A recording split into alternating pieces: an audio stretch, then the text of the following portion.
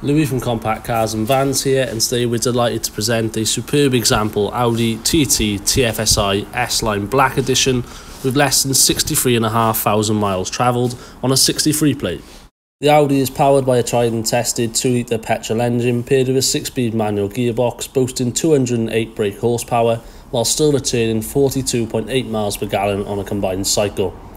The exterior of the TT is extremely easy on the eye with the iconic streamlined body shape, 19-inch alloy wheels and tinted rear windows. The interior benefits from a large boot space, S-line half-leather seats, telephone connection, sat-nav, air conditioning and so much more. Come on down to Compact Cars and Vans today to see for yourself before it's too late.